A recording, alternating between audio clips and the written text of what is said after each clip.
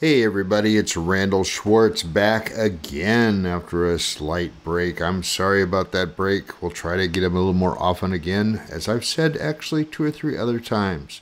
But I've just finished work on a new little project that I want to share with you because I think it might save some of you some time.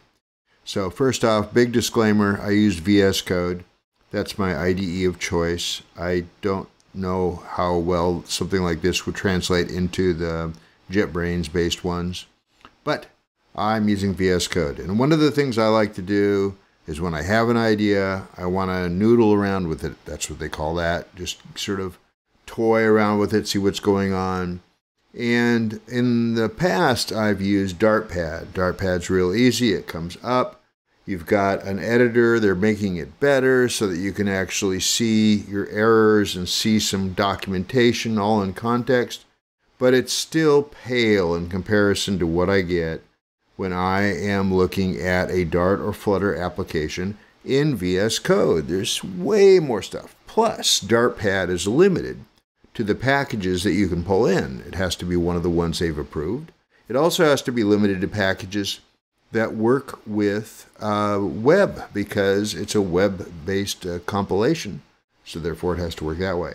So I, about a year ago, I wrote a shell script that would generate a project from scratch in Dart or Flutter, depending on my choice, and would uh, automatically populate it with a few of my favorite packages and then fire it up directly in uh, um, VS Code. So I uh, liked that, but uh, I was inspired recently by the uh, Observable Flutter uh, screencast uh, done by um, Craig Labenz and this time Felix, the guy that created a bunch of stuff. But one of the things he created was Mason. Mason allows you to have templated stuff. I liked the idea of templated stuff and I wanted to have a practical project to do it on. I went, wait, I have this need to build arbitrary projects and I have a bunch of things I want to put into it. So I spent a good long weekend, or maybe the middle of a week weekend, I don't know, I forget now. But what I created was a couple of tools to replace the tools that had been done all completely in shell. But I'm using Mason now, and so it's a lot cooler. And I want to share that with you, and I'll show you the link at the end of the show to go and install this for yourself. If you use VS Code, it's an easy drop in, and I think you'll like it. Well, the first thing I would need to do is I'm just sitting here staring at a blank VS Code window. But what I want to do is bring up a Dart project. Okay, so I've got this idea, I've got to do a Dart project. All I need to do is go to a shell and type my command dplay, D-P-L-A-Y. But, uh, you know, I don't have a shell window open right now, so I use uh, Alfred on the Mac, which is a launcher, and I can tell it, go ahead and run this command like you're running it in the background on an arbitrary shell. Now, I will hit return and watch. Within a few seconds, I say within a few seconds, my system's slow today, boom, I am now in a new code window. But look what's in this code window. Look at this. We have uh, a main, a main.dart. We also have a, uh, a bin directory. We've got a bunch of other stuff. We'll go through all this in a second. But there, now I've got something I can go ahead and write a function in. Okay, so here, great, and I run, right? There's my run right there, and boom, down here on the bottom of the screen, we got the value 3. So I was really close to just being able to quickly test this application out. Boom, and it's done. Okay. Now, what did dplay build for me? It built me a README, which is pretty pointless. It built me a pub spec. And in the pub spec, I've got uh, my floating point or my uh, functional programming tool, FPDart. I've got RiverPod annotation, which means I can do generated RiverPod in here. I'm very prioritized for that. I've got RiverPod itself. We've got uh, build runner and custom lint. That custom lint allows me to have RiverPod lint. I got RiverPod generator, and just for grins, I've got very good analysis, which I found to be the best of breed of all of the lints out there, so I'm using that one now. Now you may be curious about this weird name here. If I don't specify the name, it comes up as a UUID. And that means I don't have to think about a name. I just immediately drop me into a place that's guaranteed unique. And it's in slash temp, so I can actually go out and fetch it later. But at least everything all works consistently with the fact that it's this UUID. So there's our pub spec. Here's our build, and this is set up again for RiverPod with uh, built providers. Uh, analysis options pulls up uh, very good analysis, which I really like. And I turn off a couple things in there because it's a little annoying. And this enables the RiverPod lint as well. So all set up for me once again. Uh, very opinionated, and none of this is pluggable. If you want to change it to something else for you, just fork my project and create your own version of dplay and fplay. So see, that's pretty good for a Dart app, right? But what about a Flutter app? There's usually more things in a Flutter app. Again, using Alfred, I invoke fplay instead of dplay. And both of those take parameters. We'll get to that in a second. So again, a few seconds later, we will have, here it comes, wait for it, wait for it, and there we go. All right, I've got a very slow machine these days, so it's definitely crunching there. So again, we now have a Flutter application uh, similar to the counter app, but I've ripped out a bunch of the stuff and I've added everything that I need for uh, FP Dart and for all the RiverPod coolness, hooks and everything. So we look up here, we see we're uh, pulling in uh, Flutter hooks and hooks RiverPod and at the top level main, we're building a custom provider container. So this is all this is all the bells and whistles. This is all the cool stuff that I would normally need on pretty much the core of every RiverPod application that I'm using. I've got a bunch of it commented out because there are things that I don't need all the time and they just get in the way. Um, down here in build, I've got a material app and we get down to a home page. My home page is just a hook consumer widget so I can put a hook directly in here. But of course, I'm actually not using either the uh, RiverPod side, which is consumer, or the hook side, which is hook, in this thing. It's just I could add that real easily because I've already got the right uh, flavor of um, widget right there. Okay, so that's all really cool. The other thing you'll notice is at the top, it's it said pull in. Uh, it didn't say pull in functional. That's weird. I wonder why I left that out. Oh, it's right here. I pulled in functional Dart. What functional Dart does is it actually permits FP Dart, which defines a state, to be coexistent with uh, Flutter, which also defines a state, allows them to both be in the same application. By the way, if you're playing with FP Dart, I just got my pull request accepted to actually demonstrate this as part of FP Dart to how to deal with uh, exports and imports and show and hide and renaming stuff with typedef. So that's a fun little thing as well, but this is just a side effect of that. So I've got those. I've got, uh, again, analysis options, looks the same as it did before. Again, I've got the builder in there so that uh, I can be building everything related to RiverPod. Um, I've got uh, a pub spec that's a little bit larger this time. I've got, uh, uh, let's say I've got FP Dart, RiverPod annotations, but the Flutter also includes Cupertino icons, Flutter hooks, uh, hooks RiverPod, all the dependencies are there. They're out of order, so I'm getting a lint on that. I can always just sort those later. Wasn't important to me and simplifies the way I build it. You'll see that in a minute.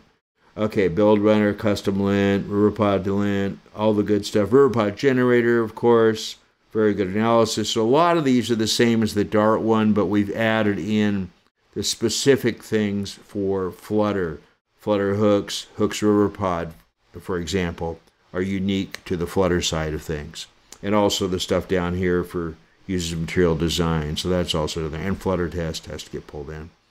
All right, so that's sort of the results of the tools. Let's take a look at how we get to there and how Mason is involved. So what we have to look at is the dplay and fplay commands. Now I just made it this one liner. Used to be about 20 lines long with a bunch of shell commands in it, like uh, uh, flutter pub, add this, and so on. But now it's just this one line run Mason and run the CodePad. And CodePad's what I'm also going to show you in a bit. And all it does is pass a few arguments into running CodePad, including uh, defaulting to slash temp by default and defaulting to the name that is a UUID. Which part I haven't shown you yet. Let me actually show you that. So, so you didn't like all those long UUIDs? All you have to say is dplay. So there's Dart again. And I'll say Randal test. Okay, I do that.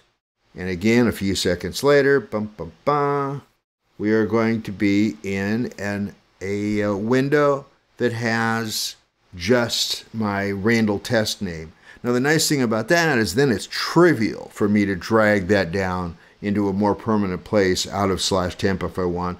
Notice all the arguments are changed here. Now it's actually called the right things instead of being that long UUID. Everything is now designed to be based on that. Okay, so let's go back to dplay. dplay again is uh, has these two arguments, either a UUID and slash temp or a specific uh, name and or a specific location. So that's that. So fplay very similar. The only difference really is that Dart is false instead of true. Yes, I could have made them one script with an argument. No, I'm lazier than that. And I also have got dplay and fplay burned into my brain from having those same named shell scripts for many moons. Okay, so let's go look at the Mason brick to figure out how this is actually working. Uh, one of these lines is my Mason bricks. There it is. Okay, so this is the Mason brick. Uh, I'm not going to go into details about how bricks work, but here's the CodePad brick. And notice the hierarchy here. This is my essentially my uh, my uh, project.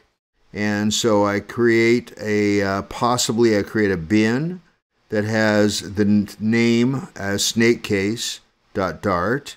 And notice it's enclosed in conditionals that goes from Dart to slash Dart. Uh, and that way, if it's not, if it is a Dart app, I get this thing. If not a Dart app, this goes away, and Mason is smart enough to not even generate the file. It doesn't generate an empty file, it just doesn't generate anything at all. Down over on the lib side, if it is not a Dart application, so that means it's a, a Flutter application, I generate both functional and main. Functional is uh, straight text. Main, however, has to have the name of the project up in here. So, of course, that gets substituted in as well. That's the only substitution I do on the stuff that ends up being useful and runnable. Um, the pub spec is a little weird. I didn't want this pub spec to be analyzed by the analyzer, so I expand in uh, Mustache, expand an X, which is always empty. So the cool thing is this generates a file name pubspec.yaml, but it's not seen as a YAML file or specifically the pubspec YAML file by the analyzer that's analyzing this text. Boy, did I have to work a little bit to figure this stuff out. But this is the trickiest one because as you see through here, I've got Dart parts, I've got Flutter parts, in both the uh, main stuff and the test, and the Flutter at the end. So I had to make those all appropriately conditional. My README uh, either pulls up Dart uh, or Flutter after the name of the uh, application as well. So there are all these pieces. Now the the assisting parts of uh, Mason includes the pre and post gen, and that's where a lot of the magic is as well. So for pre gen, I basically take uh, the input variables and see if it has a name. If the name happens to be UUID, that means it defaulted. So that means I'm going to generate a name. So I do a UUID and I put a D underscore in front of it if it's Dart. I put an F underscore in front of it if it's Flutter. That way in slash temp, it'll be clear to me which are my Dart projects, which are my Flutter projects without recognizing the long UUID because that gets pretty crazy.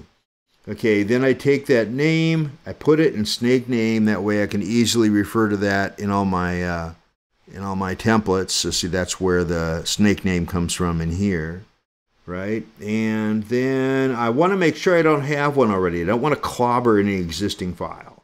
So I just do a simple little um, uh, directory lookup, see if it exists, and if it does exist, I throw an exception which Mason catches just fine and keeps from going on. It won't touch any of the files if my pre-gen has thrown. That's a good plan. All right. And then uh, my post is not much actually. My post, well, you know, actually it's a, it's clever. So I take again the project name, I take and run a process in the directory of the project. So working directory down in snake name, right? If it's a Dart project, I run dart pub get, and that gives me all of the um, that, that that fetches everything that I, is in the pub spec that I by now I've generated. If it's a Flutter project, I run flutter create platforms web. Ooh, why did I do that? Because I didn't want to have to template out all the other stuff that's already there that Flutter Create knows how to make. So I just simply come in over the top of it and do Flutter Create dot. Maybe some of you have done that already, where you have a project that's missing, say, an iOS folder, but you want to build it for iOS. You just go in and say Flutter Create dot at the top level and it creates them all. I'm using that all the way around. Works pretty nice but I also narrow it to the web platform only. And that's because typically I'm going to preview this and I'm going to do this in the web because it's the fastest thing to build. It's also very much mimics what Dartpad originally had. So again, I'm mimicking Dartpad but using code, VS Code, to do the details. And so once that's all done, Okay, I've either done a Dart pub get or I've done a Flutter create. By the way, Flutter create automatically does a pub get too, so I don't have to do that as a separate step. So I, that I found out by trial and error. Love it, works well. Finally, after the, all that's done, I then come down and I invoke code. This is the command line function for code. Dash n, make sure it's a new window and dot, which is in fact, I'm since I'm doing a run sync within the snake directory, I'm going to end up being at the top of the project. Then I also invoke code one more time where I say open up um, bin snake name or lib main dart, depending on whether it's dart or not. And again, down in the snake directory, I do this. This gives me automatically access to either the bin or the, uh, which is going to be your Dart program, or it's going to give me access to main.dart if it's a Flutter program. Wow. Bunch of cool stuff. All works really well. Published in the Brickyard as CodePad. You can install it immediately. Um, I'm going to put a URL in the show notes about how to go find that in the Brickyard. But I hope you've enjoyed this. It works really well. And uh, I'm using it constantly now. It's really easy just to pop open uh, brand new projects uh, this way or just noodling around. And because it's in slash temp, it'll get thrown away. I don't have to worry about cleaning those up later. And I have them until the next time my machine reboots. So, works pretty good. Hope you enjoyed this. Enjoy, uh, like, and all the other things. Subscribe and all that other stuff, the usual things for a YouTube channel. And uh, we'll see you all again next time.